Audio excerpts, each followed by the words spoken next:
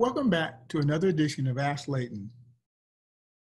I'm Layden Hale, Senior Counseling Advisor with Homeport, and I'm always happy when I'm able to speak with Isabel Giles, Loan Program Manager with Homeport, because she always brings us good news. And I understand she has some great news to share with us today. Welcome back, Isabel, to Ask Layden. Thank you, Layden. And hello to everyone out there that is watching this presentation today.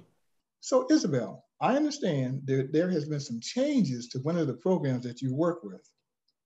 So what is the good news? I'm here today because I want to share with you important changes in our Franklin County down payment assistance. And I'm going to start by saying that now our program offers 5% of the purchase price up to $15,000 to be used by the home buyer as a down payment, closing costs, and any other remaining fees that needs to be paid within the purchase transaction. Wow, that is great news for our home buyers. When I work with my first-time home buyers, I always tell them that they need to save money. Is there any limit in the amount of savings that the applicant can have in their account and still qualify for this assistance?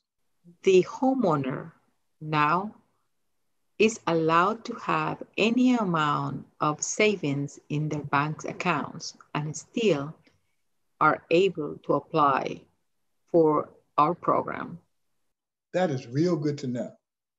So let me ask you, what happens if the applicant is receiving assistance from their lender to pay for closing costs or even down payment?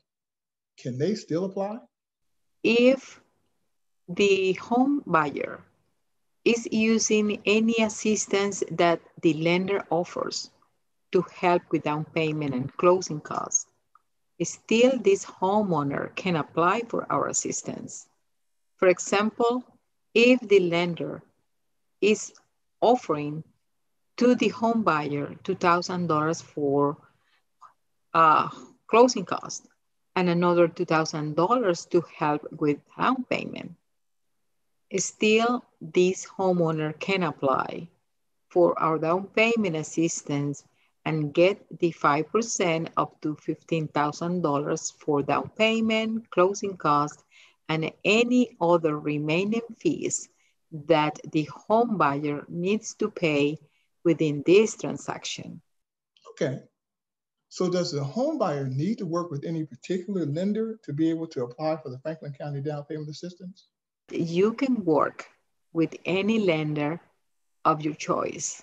Another question I get a lot is, does a home buyer have to pay the money back that they receive from this assistance? You don't have to return the money received in this assistance as long as you live in the property for six years after the purchase. Okay, so the last question I have for you is really two questions. Are there any other guidelines that our home buyers must comply with? And where can people obtain detailed information about this program? There are other guidelines that applies.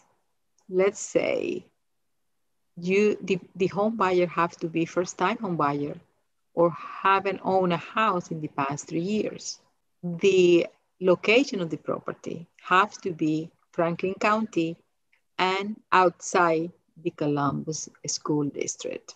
There are also income guidelines established by HUD, which is based on annual income by family size. To see all the other guidelines that the program has, I recommend that you go to homeportlearning.org and preview the guidelines of the program. Or you can also call to 614 545 4895 and leave a voice message with your questions.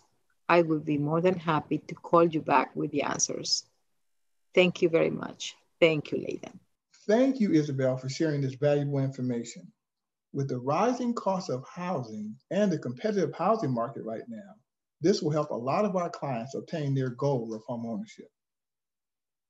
I want to give a special thank you to Isabel because she was very instrumental and getting these changes approved because she really cares for our clients and saw that there was a need for these changes to allow more homeowners to take advantage of this great program.